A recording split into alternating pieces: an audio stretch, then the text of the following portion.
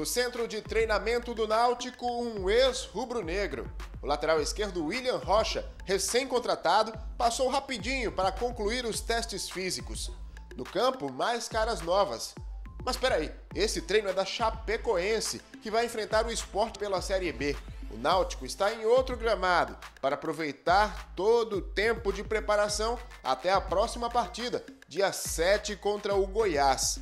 É um grupo que sabe explorar bastante o campo do, do, do Serra, que é um campo, um campo grande, né? Eles estão super adaptados. Então temos que ter atenção, principalmente jogadas em linha de fundo.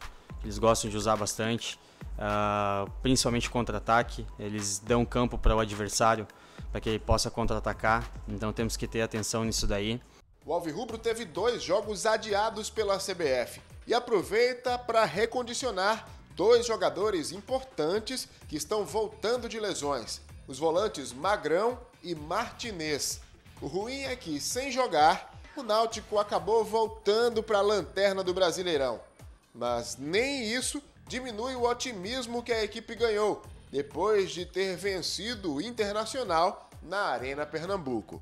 Foi um começo nesse, nesse último jogo. Acho que temos muito a melhorar ainda, mas sem dúvida nenhuma temos elenco. Esperamos fazer um bom campeonato, é, colocar o time onde que merece ali entre os 10 primeiros. Então acho que isso é fundamental dentro da competição até o final do ano.